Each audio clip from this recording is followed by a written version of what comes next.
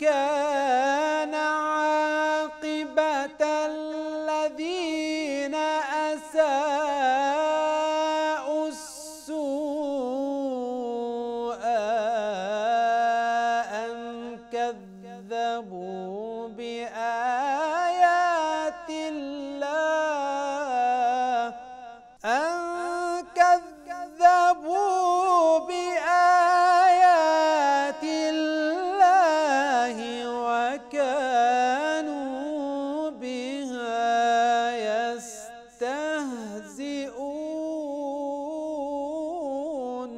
الذنوب هي السبب الرئيسي الذي يؤدي إلى الجحد والكفر.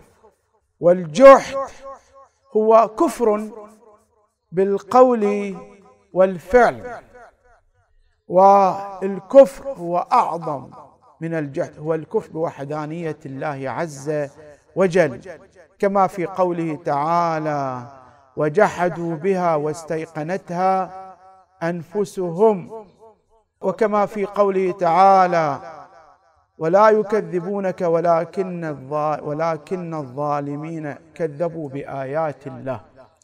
فالكفر والجحد دائما يؤدي إلى الوقوع في المعاصي وإلى الوقوع في الرذائل